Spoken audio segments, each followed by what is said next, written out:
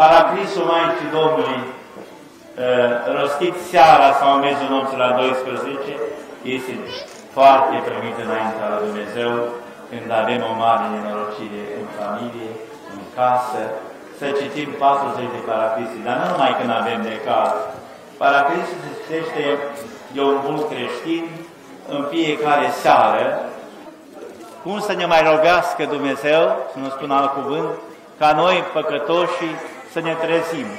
Ne lovește prin foarte multe încercări, care le vedem astăzi, începutul semnilor, război, pandemie, ă, boli, secetă.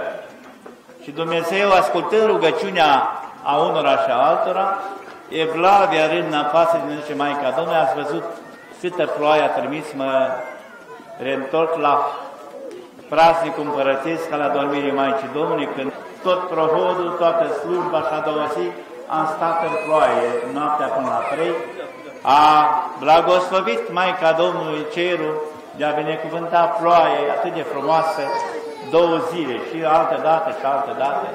Vedeți că Dumnezeu, Maica Domnului, își arată prezența, dar chemând-o cu credință în ajutor, nu pipăind ca Toma necredinciosul, și o să vă întrebi cei de acasă care sunt bolnavi, ce predică a fost?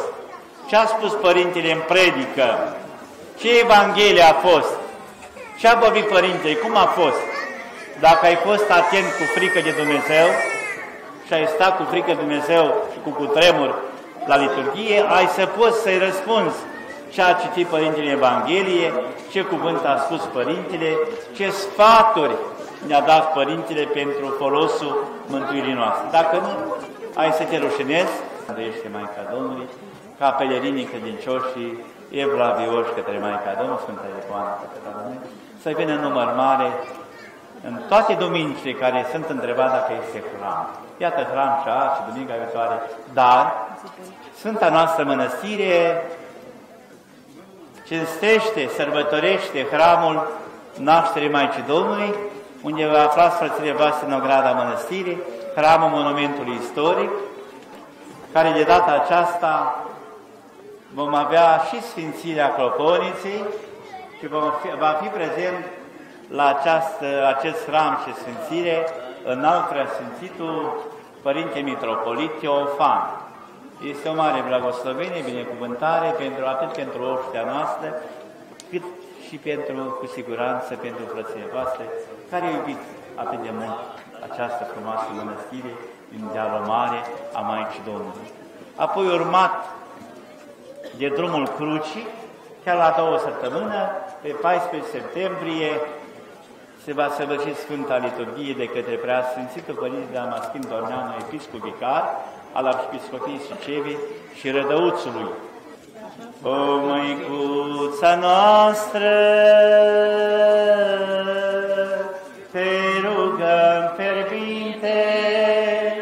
să ne ascultă pururi marea rugăminte. Cu toții cântăm. Nu ne lăsa, măicuță, să perim pe cale, căci noi suntem fii lacrimilor stale. Nu ne lăsa, măicuță, să perim pe cale, căci noi suntem fiți lacrimilor tale, călători pe marea veșnic tulburată, noi ne-am pus în tine și nădejdea toată cu toții. Nu ne lăsa,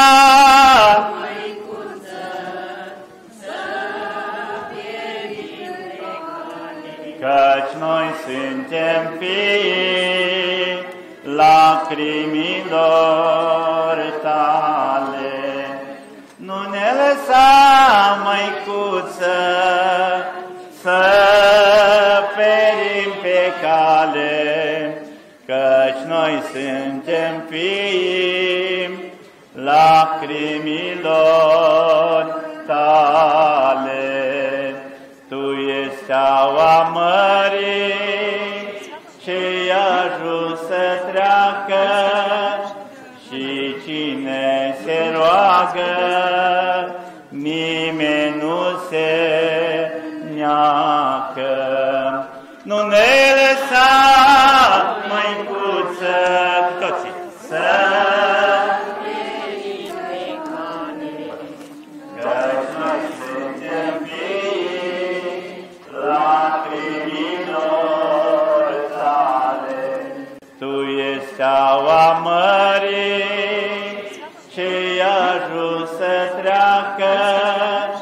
și cine se roagă, nimeni nu se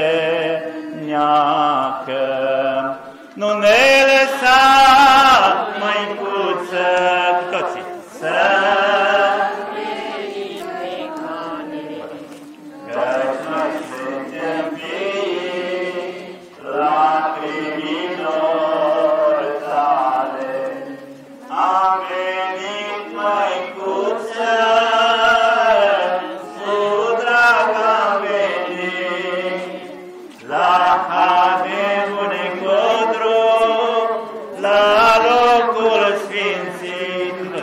Am mai tare, să spunem necazul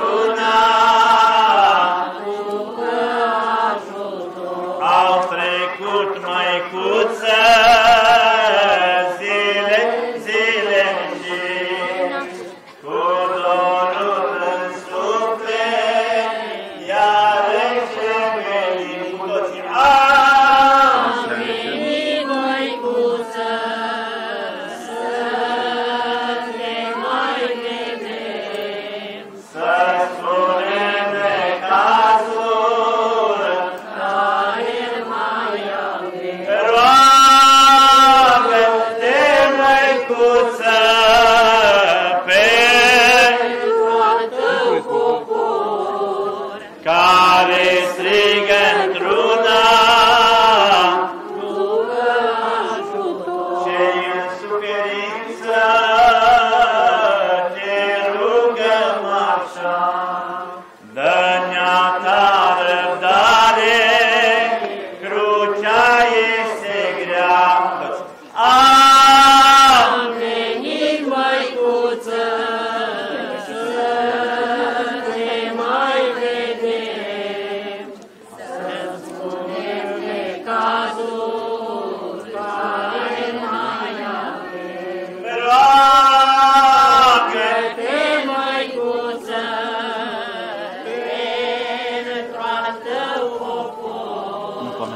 comenți la icoană. Ne-a spus și durerea care ne-a adus aici la Hadimbu, la locul de sus. Am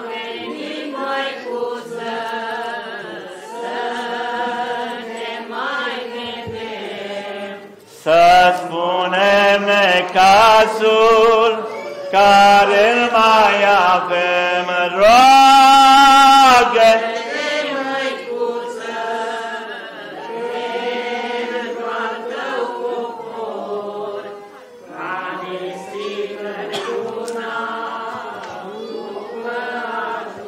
În genunchi măicuță, cu capul pleca, ne-a spus rugăciunea și am lacrimat